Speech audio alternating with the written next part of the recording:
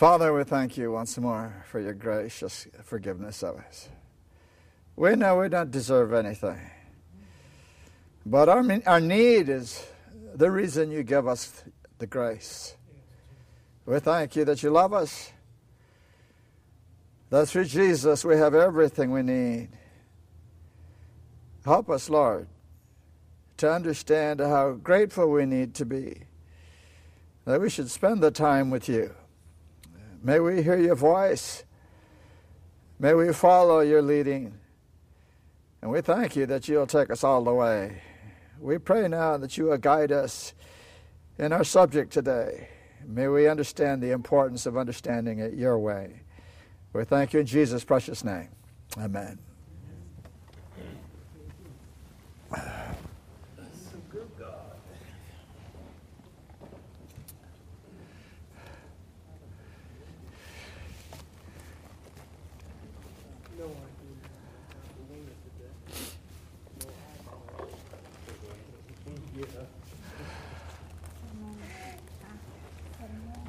As a people, we have a lot of information. and I'm not sure that's good for us. Because once you get a lot of information, it's kind of like a businessman who has a beautiful plush mark, uh, carpet in your, your business. And they walk in and they see their beautiful furniture, they see their beautiful plush carpet. And after a while, they begin thinking they're as good as their carpet. and I'm afraid some of us think we're as good as all the information we have. But it's not about information, is it? It's what we do with it. Now, as Seventh day Adventists, we are specialists about certain things. We are specialists about the last day events. Oh, we study those, we get it all down. We are specialists about the final outpourings of the Spirit of God. We are specialists about the loud cry. cry. We really know lots of things. We know about the, the latter, the latter experience in the, the latter rain. And I guess there are people who've done a lot of reading and studying and put it all together about all of this and sent out lots of information for us so we can study, so we can really know what to do about the loud cry, the loud rain. What about the early rain?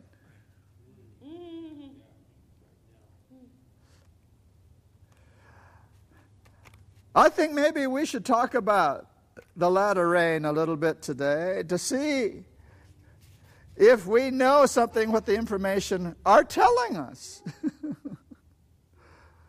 We're going to re- look at things that are very familiar with, but let's see what we have here.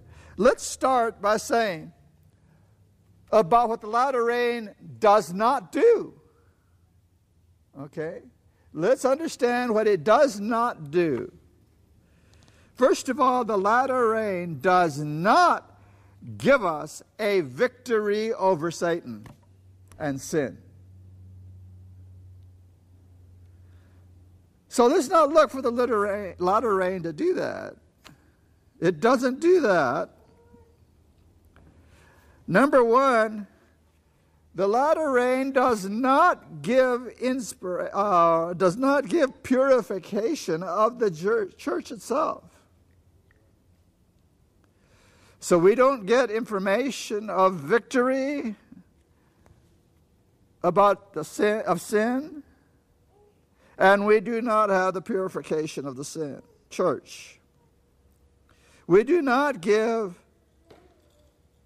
from the latter rain the righteousness of Christ to God's people. Now it's kind of interesting, all the things we don't get. at the latter rain.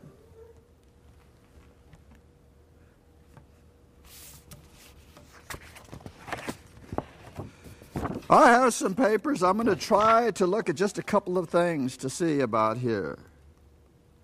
What does the rain, the latter rain, give us?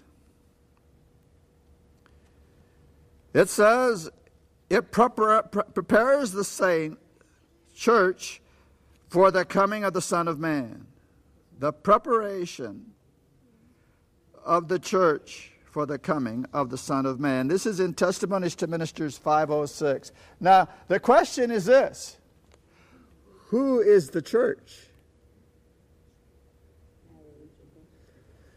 If God is going to prepare the church for the coming of the Son of Man, it must mean all of the church that's alive who's alive when Jesus comes. So, Whoever it is who's involved in this are people who've already come into the true church. It's not just the denomination, it's not just the Seventh day Adventist church, it's true to the true people of God. The true people of God. The latter rain has to do something to get the people right to the place so Jesus can be ready. So, whatever happens right at that last minute, something has to happen before that time. All right. So, the first thing we need to see is that the latter rain ripens the harvest. Okay? It harpens, uh, ripens the harvest. The latter rain gives the world the last warning. Now, we might come into this later, but if that last moment of time is to warn the world, that has nothing to do with the church. The church is warned before the latter rain comes. See? The early rain comes during the early rain. So let's hold on to something here. The early rain has something to do with the church. The world has a last warning that's in the latter rain. All right, now, the latter rain gives power to the loud voice of the third angel. Power for the third angel. The angels reinforce the remnant people. Now, again, something has happened before this time. This is happening before this time.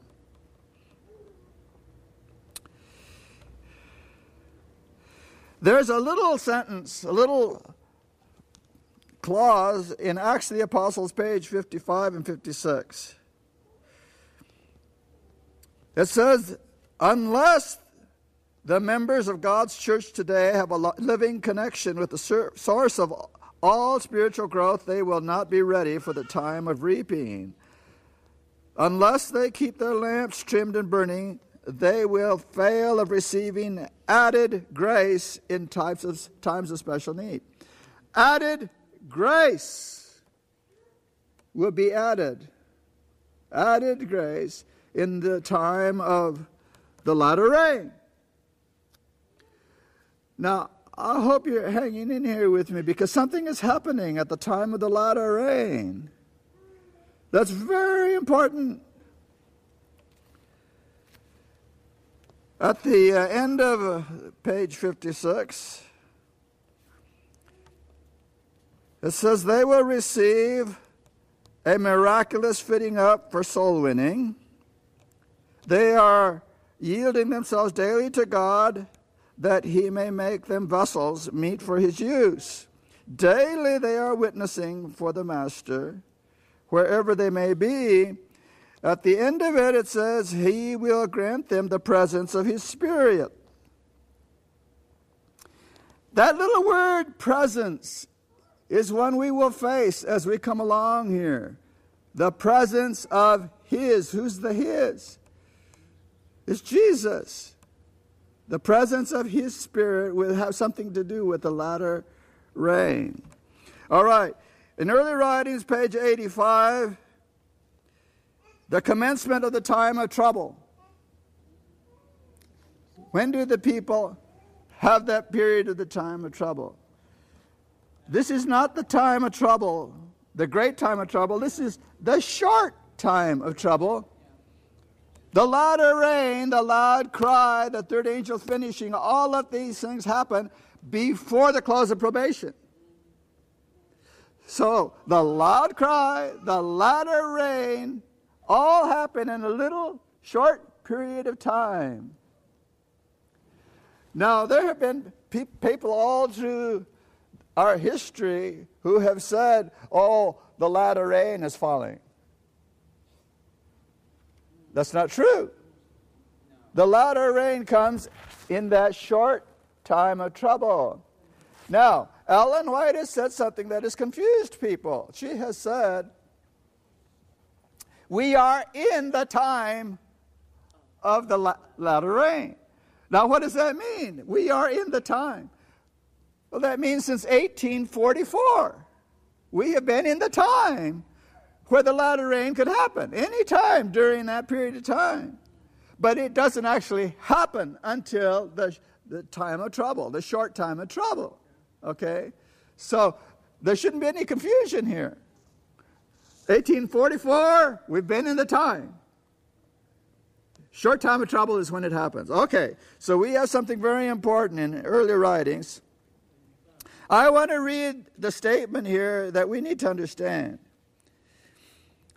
It says, it's a short period just before they are poured out while Christ is in the sanctuary. At that time, while the work of salvation is closing, trouble will be coming on the earth, and the nations will be angry, yet held in check so as not to prevent the work of the third angel. At the time, the latter rain or refreshing from the presence of the Lord. Did you catch that? It's the same word we read before the presence of His Spirit.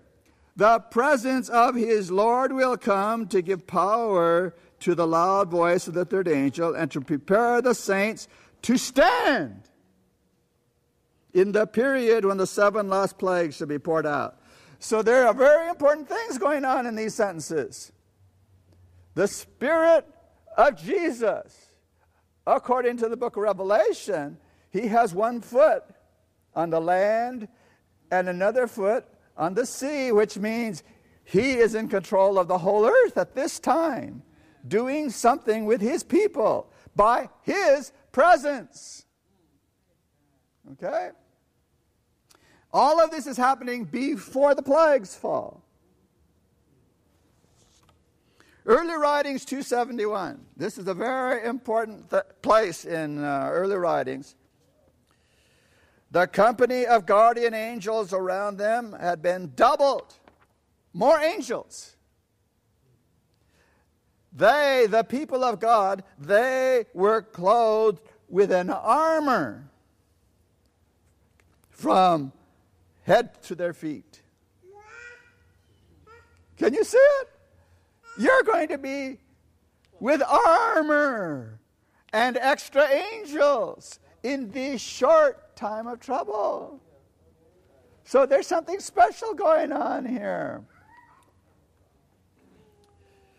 Last time, time we talked about severe conflict. Well, that's in this quote.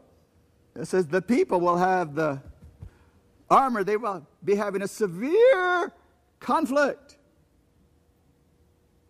Severe.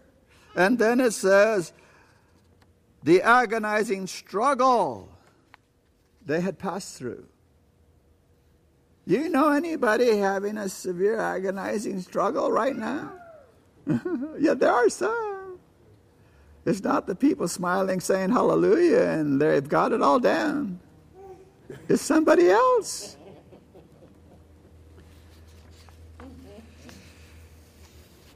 The number of this company, the ones who are agonizing, the ones having this severe conflict, it says the numbers of this company had lessened. Some had been shaken out. The careless and the indifferent. Indifferent? That's what it says. They're indifferent. They were left behind in darkness, and their places were immediately filled by others. Are you getting this? Before the latter rain falls, we are going to lose Seventh day Adventists who've been going to church all along. And in that short time of trouble, from the world in the last warning, they'll come and take their place. And they're going to do something that the Adventists didn't do. And we're going to find out what that is.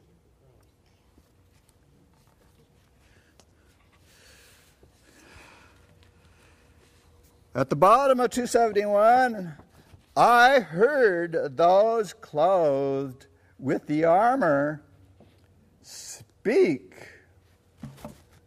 What's that? They're not sitting around going to church and having a good time. This says the ones with the armor speak forth the truth with great power.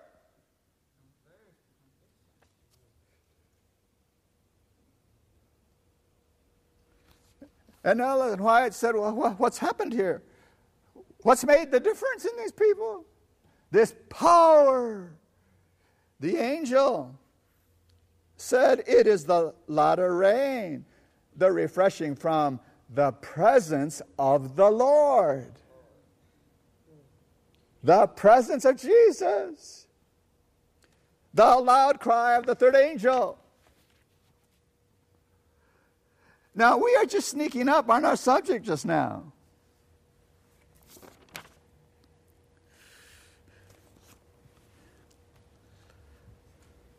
We've already found out when this is going to happen. It's the short time of trouble. Something comes before that short time of trouble. The image of the beast has been formed.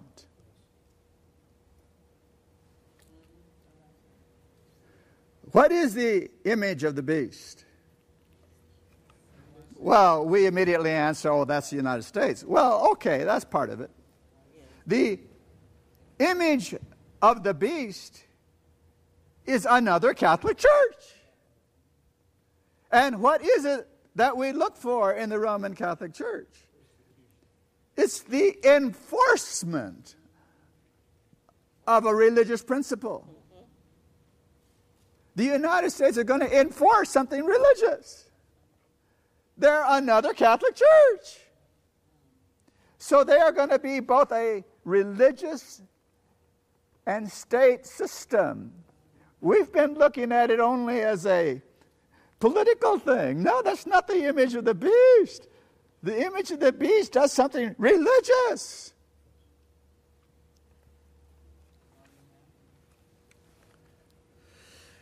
What is it? The image to the beast does always. Persecution. Persecution. If you don't agree with them, you have a problem. okay? They're going to come get you if you don't agree with them. Now, the interesting thing is that all the churches in the world today agree with the image of the beast, they agree with the beast. We're, that's not our subject today. We want to understand this.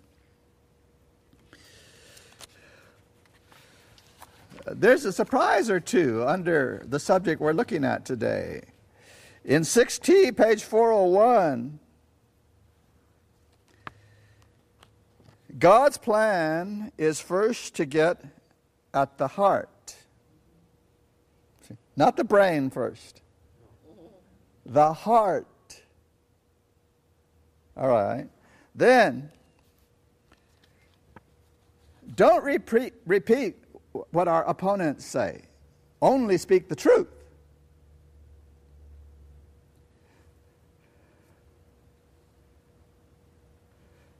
All right, now listen closely. Those who have had great light and precious privileges, but have not improved them, will, under one pretext or another, go out from us.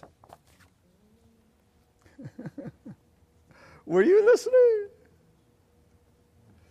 Under one pretext or another, they will leave the Seventh day Adventist people.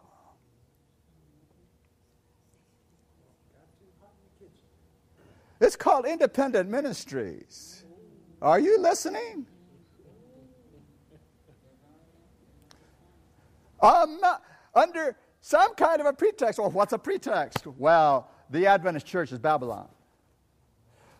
Oh, the apostate Seventh day Adventist. Oh, we're the holy ones. Oh, we're the ones doing it right. Under these are all pretexts. And God told us, under one pretext or another, they will go out from us. Has it happened? You know, everything God tells us happens. we ought to pay attention.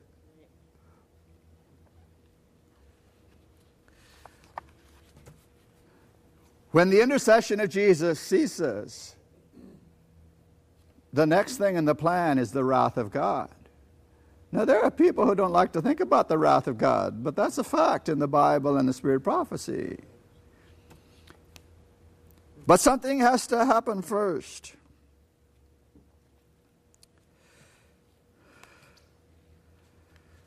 Not having, 6T401, not having received the love of the truth, they will be taken in the delusions of the enemy, the ones who leave us.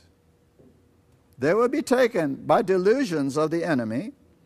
They will give heed to seducing spirits and doctrines of devils,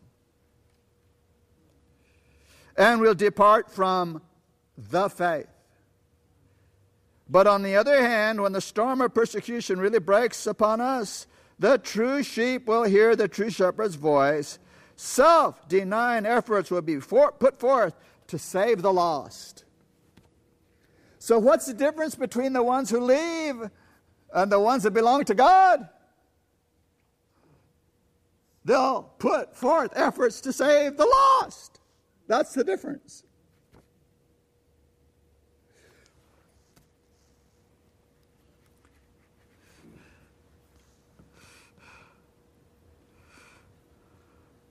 The love of Christ, the love of our brethren will testify to the world that we have been with Jesus and learned of him. Then will the message of the third angel swell to a loud cry, and the whole earth will be lightened. The whole earth will be lightened with the glory of the Lord. When? When the ones are still part of what God called as His people, the remnant, they love God, they love Jesus, they love the brethren. And in that unity, the glory of God lightens the world in that short time of trouble. It can't come any other way. Now, there is a lot of problem here. It says, according to the things we've seen so far, that latter rain will not come when the Seventh day Adventist church is popular. you think it's going to come tomorrow? it's impossible. Jesus has told us the power that he is going to give his people to the third angel's message, to the people who love each other and who love God. It can't happen while the church is popular.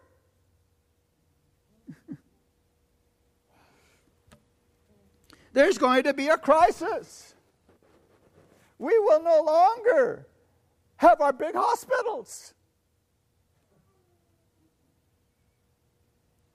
We will not have our equipment, our fancy equipment all over the world. We will not have our Bible houses, our supplies. We won't have our church programs. As a matter of fact, the organization could be in pretty bad shape by itself. I don't know how much of it's going to be left.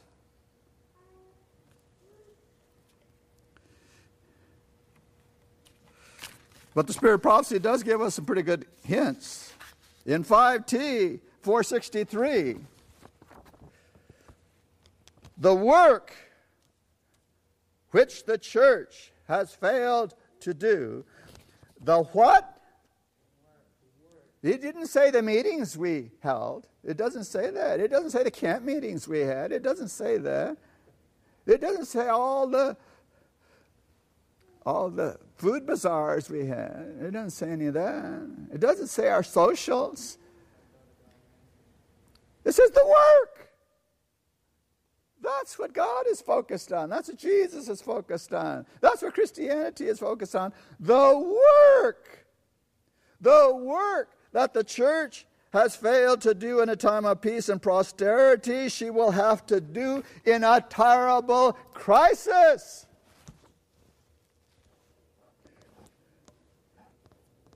A terrible crisis. That's a nice, happy time. Everybody smiling, everybody having a good time. It says a terrible crisis. There's nothing fun about it.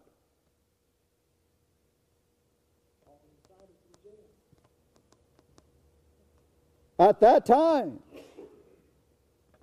the superficial, conservative class, whose influence has steadily retarded the progress of the work, will renounce the faith and take their stand with its avowed enemies toward whom their sympathies have been long intending. Now, I want you to understand this with me the superficial, conservative class, the ones that never bend, they always have to have it the same, always. What they were taught when they first became Seventh day Adventists, that's what they believe, and they never will believe anything because they have never studied for themselves.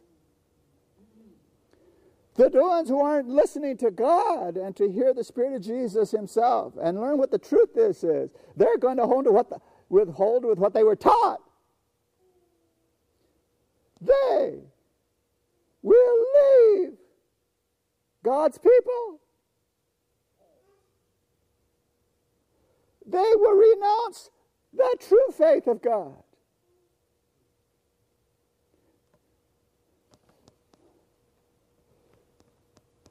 The superficial conservative ones, the hold to the old things they were taught. They don't move. And everybody has to believe it they, we, the way they believe it, or they're not happy. These apostates, I'm reading, these apostates will then manifest the most bitter enmity. They're bitter. It's the first thing you notice about the people who leave Seventh day Adventism to form their own group, they always start sounding bitter against the true people of God. There's no love there. It's always look what they're doing what wrong what they're doing wrong in the Adventist church.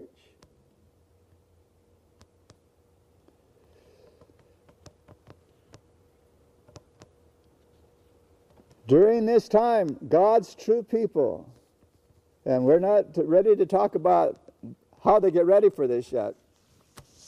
The people of God, the members of the church, will be individually tested. They're going to walk in this church one Sabbath and take the whole group and say, Now, now let's test you. No, it's it individually. You're going to be by yourself. And what's going to happen? They will placed in circumstances where they will be forced to bear witness for the truth. They're not going to be looking for it. They're not saying, Bring it on, I'll testify about Jesus. No, they're going to drag you and say, Let's hear if you're a Christian or not. A real Bible Christian. And where are you going to be placed? They'll be called to speak before councils, courts of justice, Pastor, perhaps separately and alone. Are you ready for that? For the law come to you and say, You say a Seventh day Adventist, you come over here. No church members, no pastors, nobody else, just you all by yourself. and we're going to see who you really are. But before that comes, you see, we're going backwards at this. In Great Controversy, page 48, I'm not using any quotations. You all know, you've heard these, but I'm trying to put them in a different frame to understand what's being said here. Great Controversy 48. There's another and more important question that should engage the attention of the churches of today. The Apostle Paul declares that all that will live godly in Christ Jesus shall suffer persecution. Now, the Spirit of prophecy is quoting a fact, not something that could happen to some of the people of God.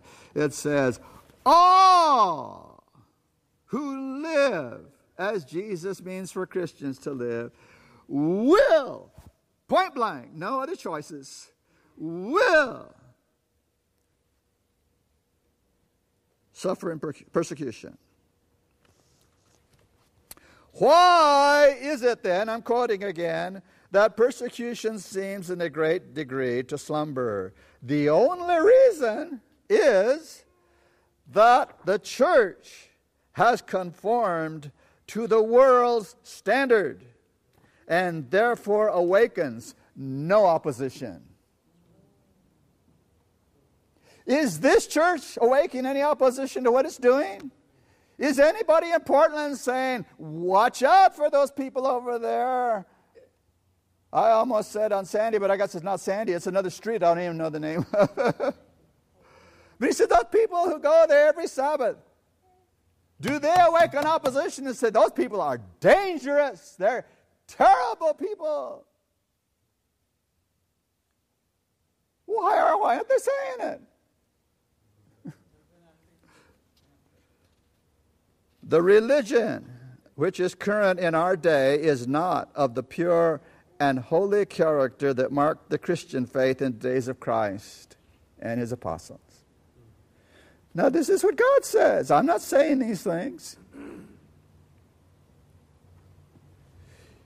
It is only because of the spirit of compromise with sin.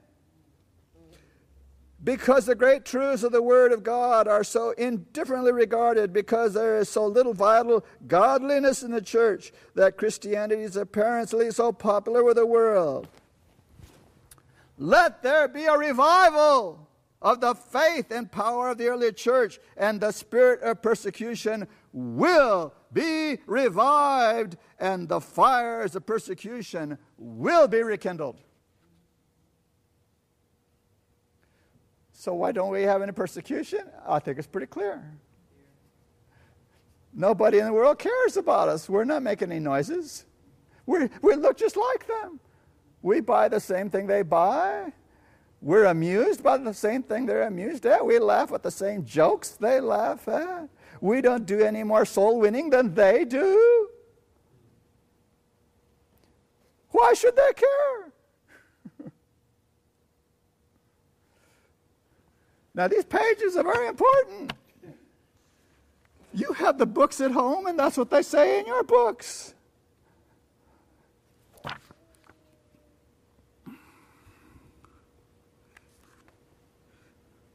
Testimonies to Ministers, page 300.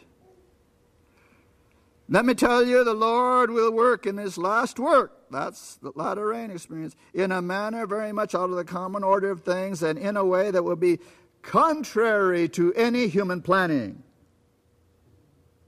No, I think it's a nice thing to do some planning. But God is not going to finish this according to our plans, according to our organization, according to the things we want to put together. God is going to do it a different way. The workers will be surprised by the simple means he will use to bring about and perfect his work of righteousness. The people who are actually working are going to be surprised. That's what it says. The ones who are trying to do something, they're going to be surprised the way God does it. Well, if they're going to be surprised, it must mean the way we're doing it isn't the way God does it.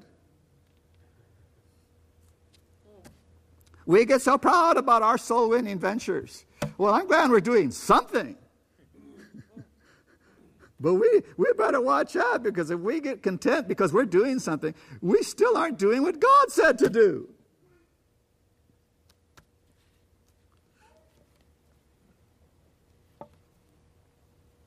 We're a people basking in prosperity. That's right, that's us. We have money in the bank. We have a job. We have material things.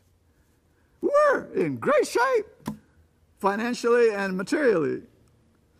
You want food? You know right where the store is. What's the big deal? You just go down there and you buy some. But there's coming a time, we've heard, we're not only not going to have a job, we're not going to have any money. And you can't buy food without money. And all of a sudden, we're going to be out there and the store. Doesn't matter. They're not going to let you in there.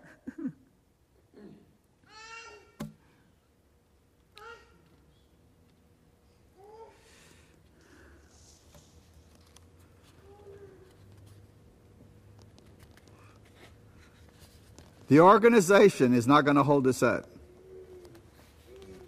The pastor is not going to have any significant input for you anymore when you're not seeing him anymore. The church, they're going to close the churches. And I have asked many pastors, what are you going to do when this hits? 10% of nothing is nothing.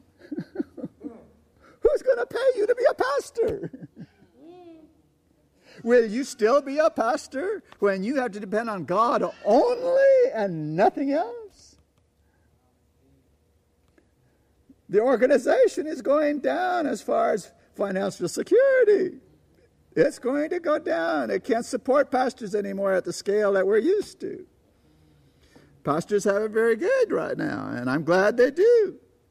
They get their houses paid for, they get their houses paid for, they get the insurance paid for, they get their education paid for for the children, they get paid. They really live quite well.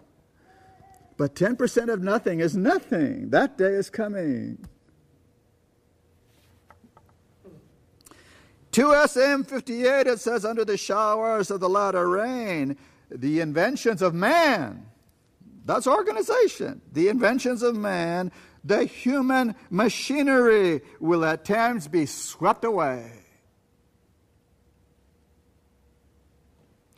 Now, we need organization. We ought to hold on to it as long as we can, but there's a time coming when we're not going to have it anymore. That time is the latter rain. Now, I hope you're paying attention to all of this because we ought to be asking the question how in the world do you get ready for that time? That's what I want to try to answer today.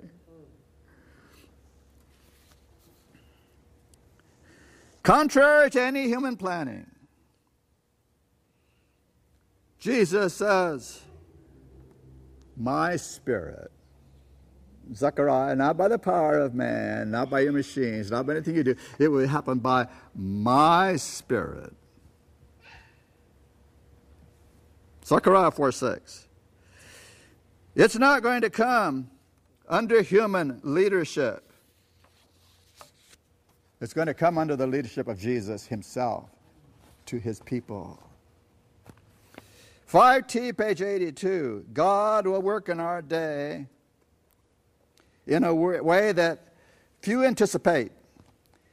He will raise up and exalt among those who are taught rather by the unction of His Spirit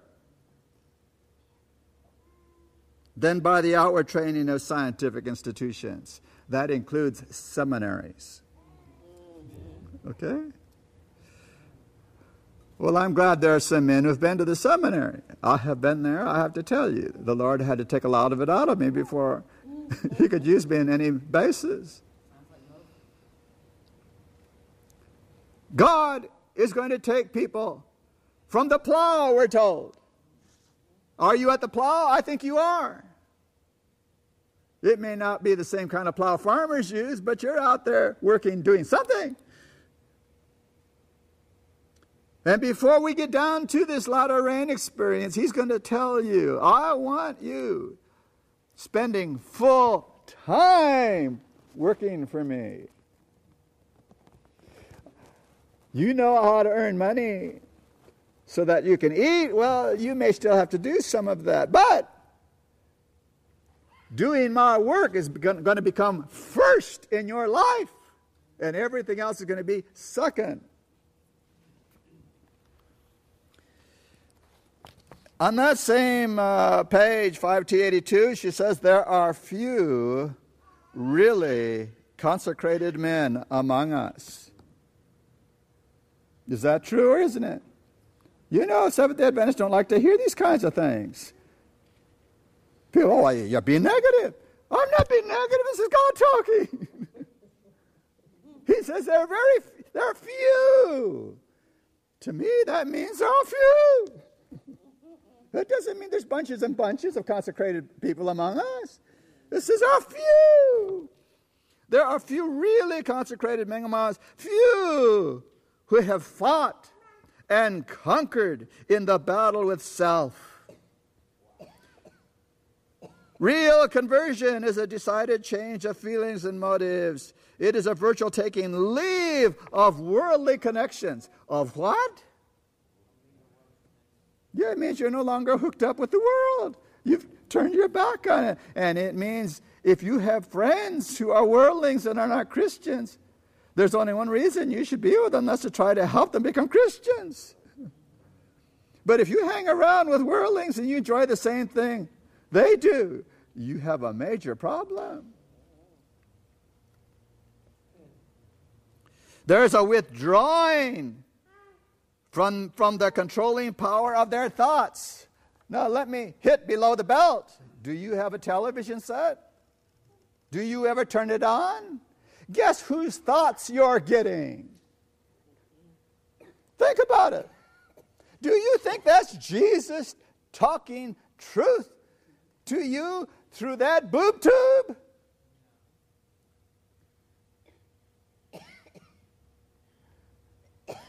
There's something wrong somewhere, isn't there? It seems to me that once you know it's the devil talking to you through that thing, that it ought to hit. Those thoughts that are hitting me are not from Jesus. It's that simple. That's what she just said here. There must be a withdrawing from the controlling power of their thoughts, their opinions, and the influences. The separation causes pain. Oh, that's, that's a problem. pain. You mean I just don't shut it off and throw the thing on and say, wonderful? It says pain. So if you ever get to that place,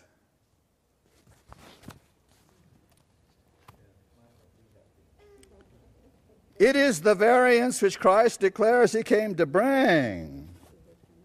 But the converted will feel a continual longing desire that their friends shall forsake all for Christ. How can you ask your friends to forsake all for Christ if you're not?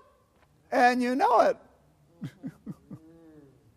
Are you beginning to catch a picture why there's so many few, or how many few, how many of our people are soul winners? She said, few consecrated.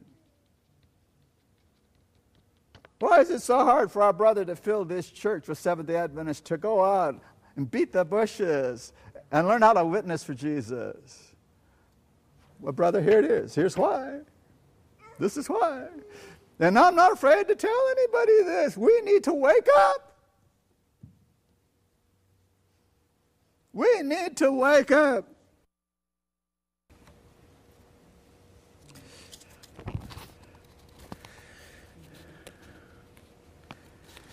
1733. Are you ready for a few hard statements now? yeah, we've just been playing the easy ones. Do you want to start hearing some of the good ones? This is straight out of the mind of Jesus. This is His Spirit talking to us. This is the testimony of Jesus. What the Lord did for his people in that time, it is just as essential and more so that he do for his people today. All that the apostles did, every church member today is to do. I don't know how many members are in this church. I haven't been here on a Sabbath morning. But every single one of those, every single one of those, according to Jesus, is to do what the apostles did. That says every. Now, I'm going to say something very difficult to you at this point. Everybody who comes to church here is not a member of God's church. Only the people who do what he says are a part of his church. The rest of them are doing something else.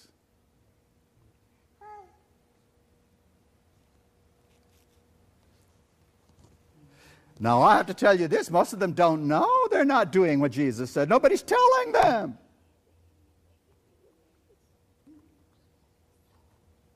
I was a pastor for several years, and I never said these things to my people because I didn't know them.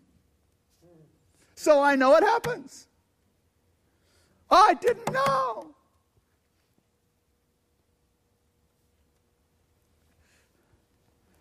I had to go back and apologize to lots of people after I woke up and began to see some of this.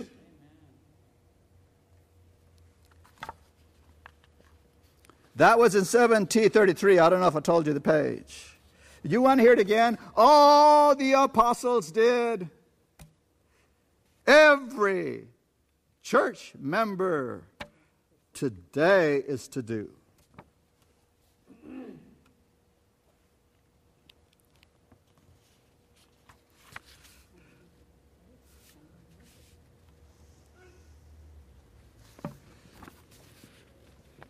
Uh, we're now we're starting to get a hold of who is going to receive the latter rain.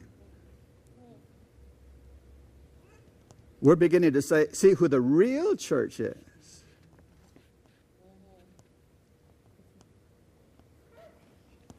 All right, let's think about it for a moment here. When the apostles went out, and, I, and I'm only going to get halfway through today. When the apostles went out, what technology did they have? foot power. that was their technology. They didn't have computers. They didn't have, they didn't have radios. They didn't have television. They didn't.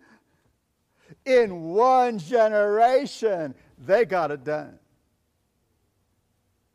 And God is going to give us one generation to get it done without all that stuff. I'm going to tell you point blank, I'm not going to try to prove anything to you. You cannot convert a person who's watching those lights giving them information. You cannot do it. The Spirit doesn't work that way. Because those lights coming into your brain bypass all of your filters. The brain has no place for those lights to come because it can't sort them out. It just puts them somewhere. All those lights become random information in your brain and you can't even control them after they're they're there. They come up whenever the brain decides to bring them up. So when they see George Vandeman come into the brain, the only thing the brain gets is George Vandeman. He gets nothing about Jesus.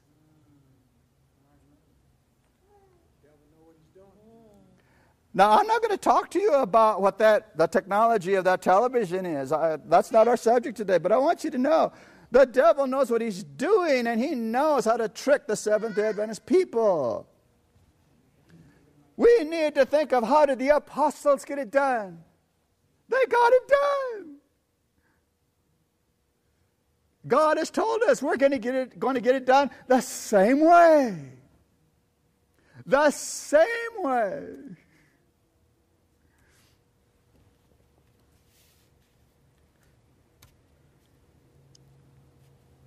What did they have? They had Pentecost. they had Pentecost. Maybe that's what we're missing. Nothing happens until you get Pentecost. How did they get Pentecost? Go back and read Acts of the Apostles. Those early chapters about the Spirit of God. Read them carefully because we're misreading a lot of it. It says the first thing they did, Jesus put them together. And they had to li- learn how to live with each other first. yeah. 10 days. Have you ever lived with somebody for 10 days, 120 somebody's, and nobody took a shower?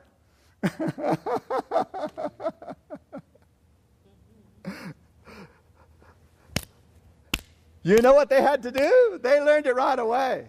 You know, I can't sit here and argue about theology with this guy. We'll never get through 10 days. The first thing they had to do was give up pride of opinion. They had to learn how to love each other. And when they learned to love each other and they gave a pride of opinion, they found out something. They had one thing they all wanted to do reflect Jesus to the world. Then Pentecost. and what was Pentecost? God Himself came and filled them with His life. No theology himself.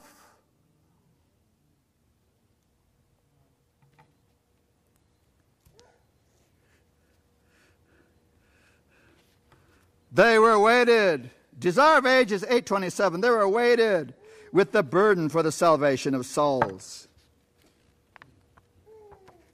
They were weighted with the burden of the salvation of souls. That was them. That was Christianity to them.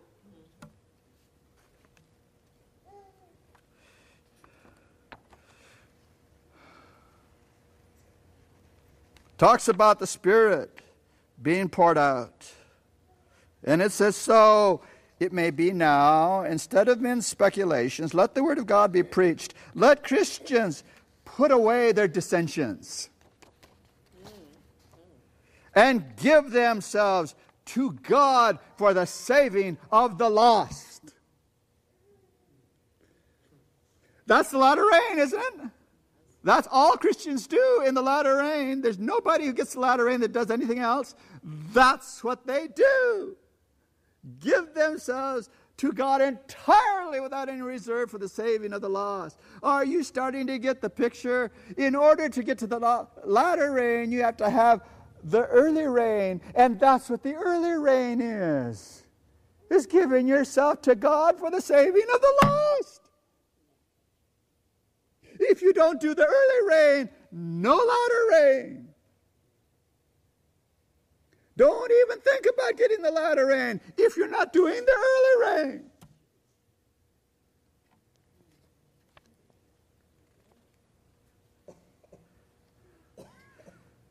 The outpouring of the Spirit in apostolic days was the former rain, and glorious was the result, but the latter rain will be more abundant.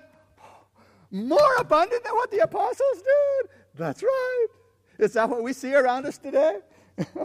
Come on. Nobody in their wildest dreams thinks we're doing what they did.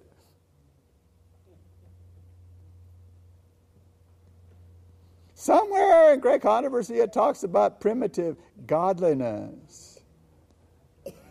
Primitive godliness.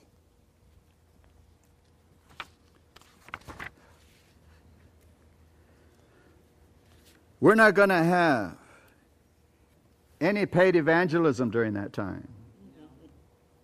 We're not going to have any paid evangelistic advertising. It's going to be you wandering around by yourself, talking to somebody that the Spirit has already prepared.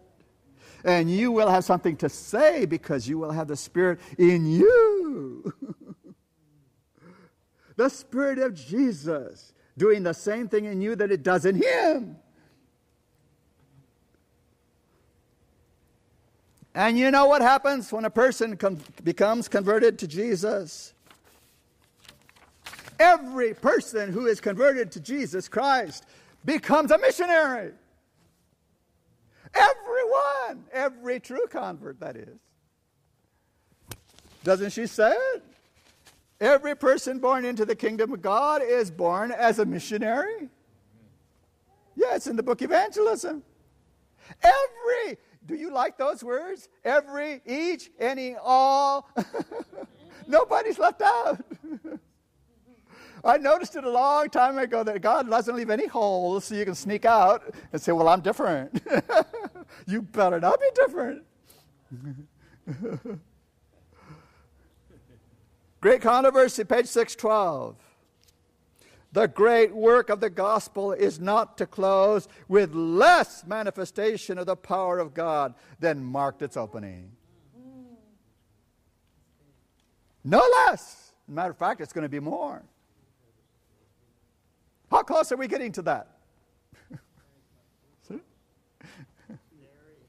more power than when the apostles were on the earth. Servants of God with their faces lighted up and shining with holy consecration, will hasten from place to place to proclaim the message from heaven. What are they doing? Potlucks. What a shame. What a disgrace to think that's the way they spend their time. They're moving around all over the place by the thousands to win somebody to Jesus, to, to warn the people to save them from their perdition. They're perishing. Miracles will be wrought, the sick will be healed. Signs and wonders follow the believers.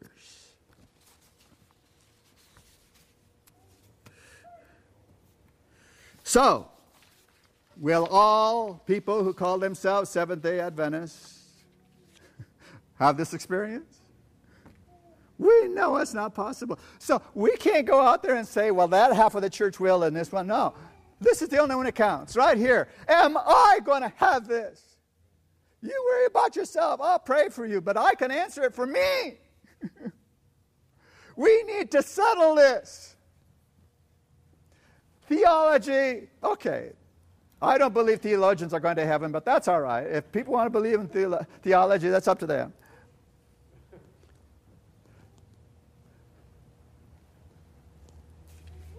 You know, the book, Mount of Blessings, page two, it, the book begins by saying, Jesus first cleanses the soul temple that he may inhabit it.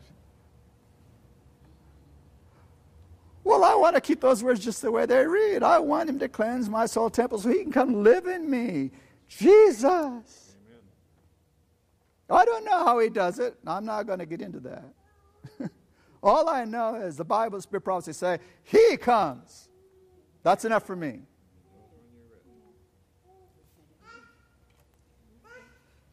There's going to be a shaking. We read that. They're going to forsake the faith. The superficial conservative people in the church, the ones that want to keep everything level, oh, don't shake the boat, don't rock it. No, don't do that. Don't you say something that will get that church across the street mad at us.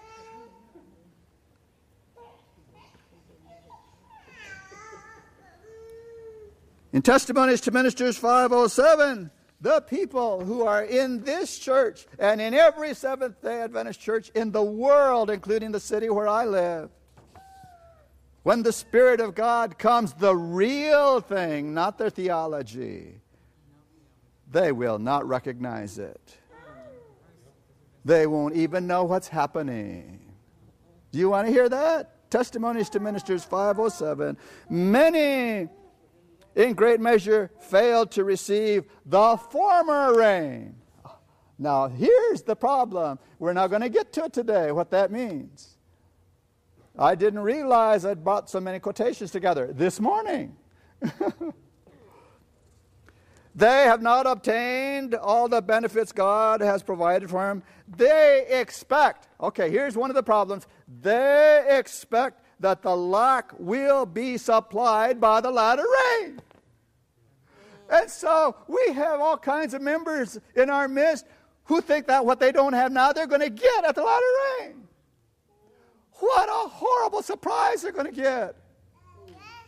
It's not going to happen.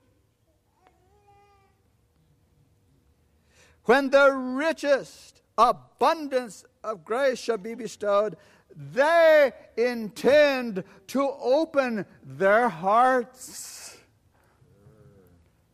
to receive it. They are making a terrible mistake.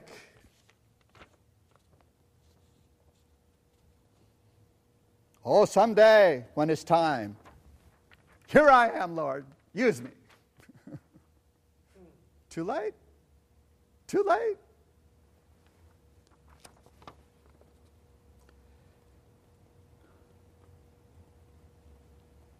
Every individual must realize his own necessity.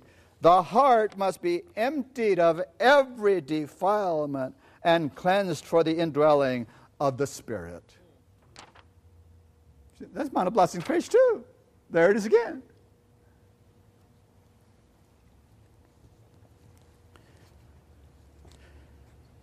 She talks about Pentecost. She says the same work, only in greater degree, must be done now. What greater work? Stop having wars over theology. Love each other. Have just one purpose to exalt Jesus. And it, says we need this more than they needed it back then.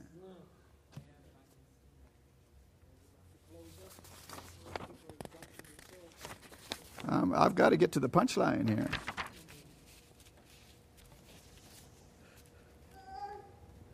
We all know these little platitudes. If you don't live up to the present light, the light you have, then you're getting new light. We all know that one. Well, let's change the wording. If you don't have the early rain, why should God give you the latter rain?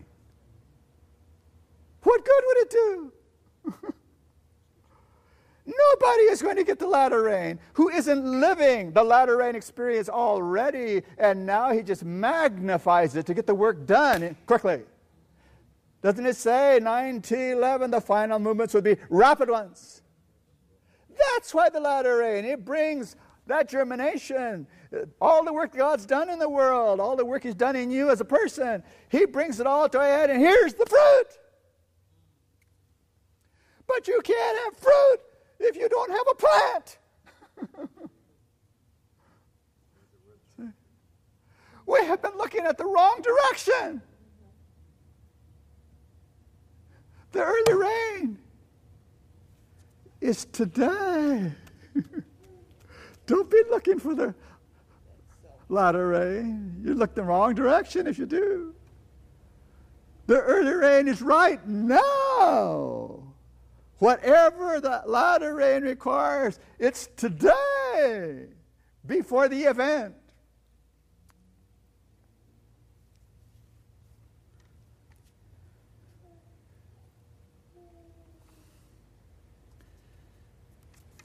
Every saint, fearless of consequences, followed the convictions of his own conscience and united with those who were keeping all the commandments of God, and with power they sounded abroad the third message.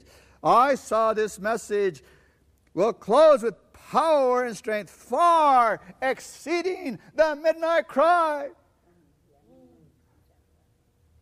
Why? Well, she said earlier in early writings, they had the armor from head to foot, and they were fearless. And they went out to speak the word from heaven. Nothing could stop them.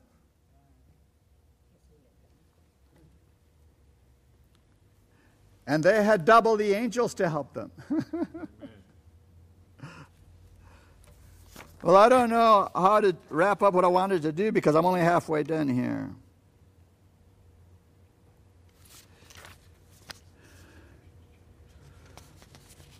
Ah. Where are we here? Only those who are living up to the light will receive greater light. See? Unless we are daily advancing in the exemplification of the active Christian virtues.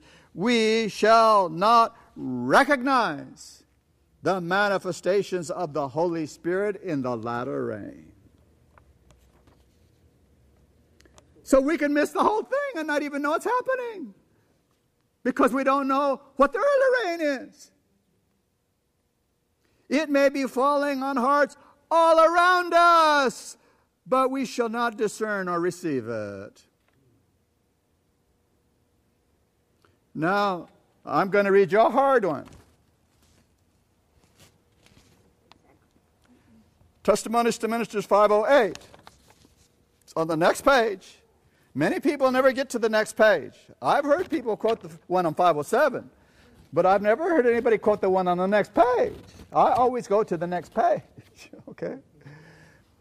On 508 it says, if we do not progress, if we do not place ourselves in an attitude to receive both the former and the latter rain, we shall lose our souls. See, there's more to this than saying, well, I'm too busy for that. I can't do it. I'm just a church member. No. Every person in the Adventist church, every baptized person needs to be with that brother helping him do the work. Every single one. And they ought to know that if they don't get over there and do something in the Spirit of Jesus, they're going to get themselves lost. Now you go read the page. I didn't make it up. It's right there in everybody's books. Now, I don't know about you, but that thought just shakes me with terror to think that after hearing everything Jesus had tried to tell me and all the experiences, that I could lose it because I'm into potlucks instead of winning souls.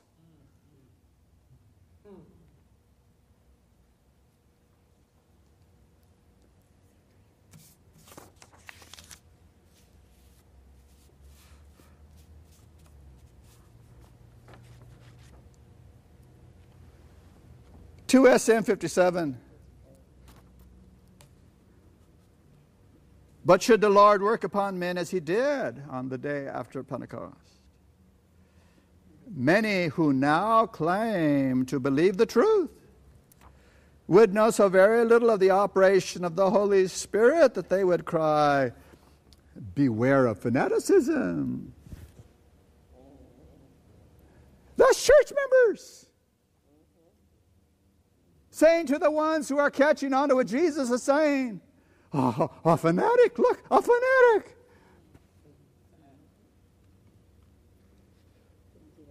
They would say of those who were filled with the Spirit, These men are full of new wine.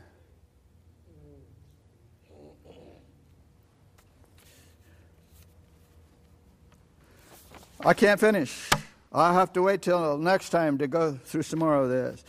But we have done enough today so you recognize the people who are going to go through the latter rain experience are those who have the early rain experience and they just continue through doing what they're doing.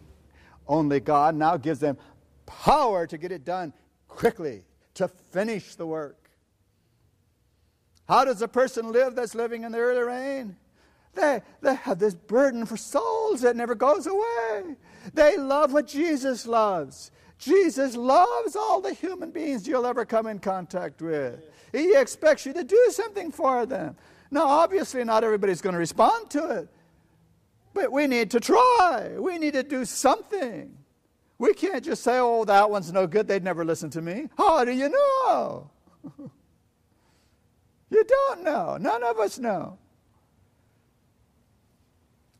I'll close with this. I'll probably off the tape. That's okay. There was a fellow in San Bernardino. I responded because, and she wasn't even his wife, he was living with this woman.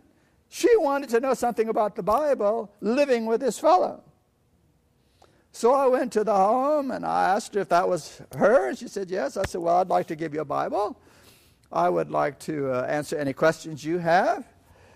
Uh, and I realized you have an interest uh, would your husband have an interest also? And she said, Well, I'm not married. And there he sat over there in the corner. and he was sitting there all scruffy. I never saw a scruffier person. He had what used to be a white t shirt, it wasn't white anymore. He was, he was like this. He was had beard just uh, sticking out in all sort of places. He was bald headed. He had no hair on his up there, but he had him here. He had a big cigar in his face. And he was about three feet away from the television set, looking like this, sitting in the corner. So I said, Well, uh, she said that's not her husband. So I said, Well, whoever he is. I said, Do you mind if I ask him? She said, No, come on in. So I went in. And she said, He won't talk to you. I said, Okay. Uh, so I stood next to him and I said a few words. He never moved. His eyes never, never blinked. and I said, ah, this is going to be a little tougher than I thought. So I mentioned that uh, this young lady has asked for a Bible, and I'm happy to come and answer any questions. Does he have any questions? He never moved. So I said, you know, this is not going to go down like this. so I stepped between him and the television set. He looked at me. He finally looked up. He said, You think you're smart, don't you? I said, No, I don't think I'm smart. I just wondered if you could see anything besides a television set. I'm talking to you. he said, I don't want any. I said, Okay. I said, That's fine. You answered my question. I said, I'm, I'm going to come back and talk to her. She wants to know about the Bible. No problem. I said, Have you ever been to church? He said, What do you mean by that? well, it doesn't seem like there's much church there. Have you ever been to church? He said, I'm a Catholic. I said, Oh, that answers the question for me. I said, I'll tell you what, the next time you go to church, you ask the minister this question. And I'm going to tell you his answer. And he said, What? You can't do that. I said, Yeah, I can do that. You ask him this question, and this is what he's going to say to you. And so I left. I came back a week later to begin her studies. And he came to the door with her and he said, How did you know? How did I know what? What he was going to say. I said, He said it, didn't he? He said, Yeah. I said, I'll tell you how come I know, but you're going to have to listen to what the Bible says first. He said, Okay. So we sat around and we had some, and little by little, they began to get it. And I finally asked the question, You people are living together without marriage, aren't you? And they said, Yeah. I said, You know what? We're going to have to stop these studies. Because God doesn't play games. If you're just wanting information, that's not going to work. If you want to know what God says and you want something in your life about God, you're going to have to break this up. You have to live separately. And I left. I came back the next week. And sure enough, he had moved out. But he was there for the study. So we continued the studies. And the day came when I had to leave that part of the world.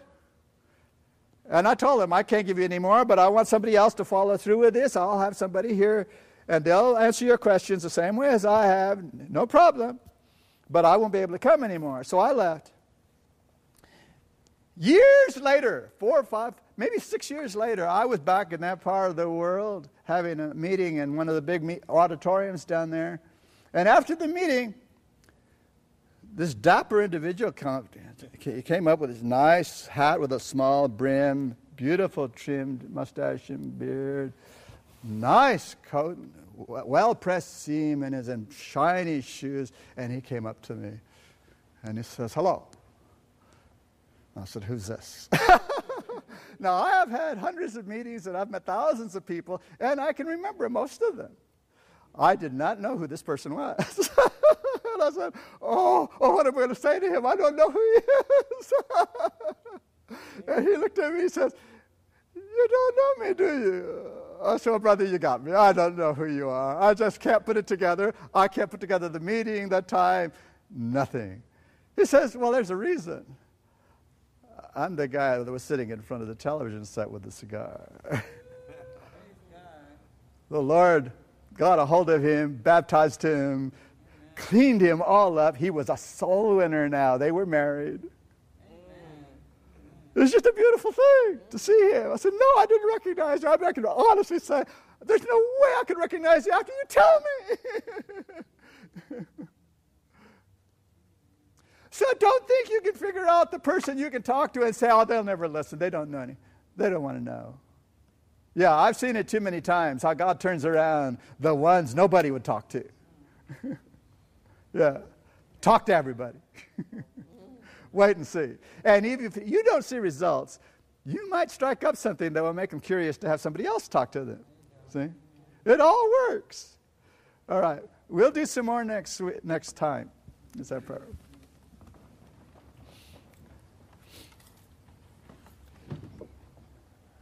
Father, we thank you that you didn't cut us out because we didn't show much promise. We weren't too bright when you came to us. We didn't know anything. But because you love us, you weren't going to give up. You had somebody talk to us, and we're so thankful somebody did. We're so thankful that your Spirit never let us go. You spoke to us. You put something in us that we wanted to know. And we thank you that you brought us the light, the light of your kingdom, the light of your grace, and that we have responded to you. Help us to remember that we're no better than all the people we see out there who still don't know you. We're still no better. Only Jesus is better. In that last moment on this earth, when we still have awareness, we will see it so clearly we have no merits. Our only hope is Jesus. Help us, Lord, not to get lost in the doctrines. Help us to share that wonderful life, that precious blood with people. And let Him deal with it with them. We thank you for all the knowledge and information you get, have given us. Now help us by your Spirit to move forward and to live it, and to be a spectacle to the world and to the